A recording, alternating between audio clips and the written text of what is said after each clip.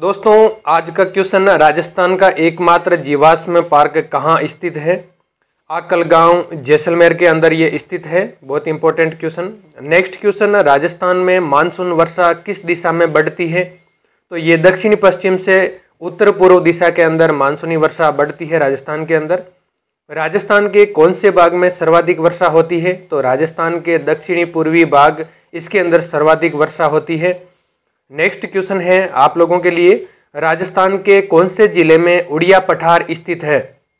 यह है सिरोही ज़िले के अंदर स्थित है और बहुत ही महत्वपूर्ण क्वेश्चन और नेक्स्ट क्वेश्चन राजस्थान के कौन से ज़िले में सूर्य किरणों का तिरछापन सर्वाधिक होता है? यानी कि सर्वाधिक तिरछी किरणें कौन से ज़िले में गिरती है? गंगानगर में। नेक्स्ट क्वेश्चन है, थार रेगिस्तान के कुल क्षेत्रफल का कितना प्रतिशत भाग राजस्थान में है?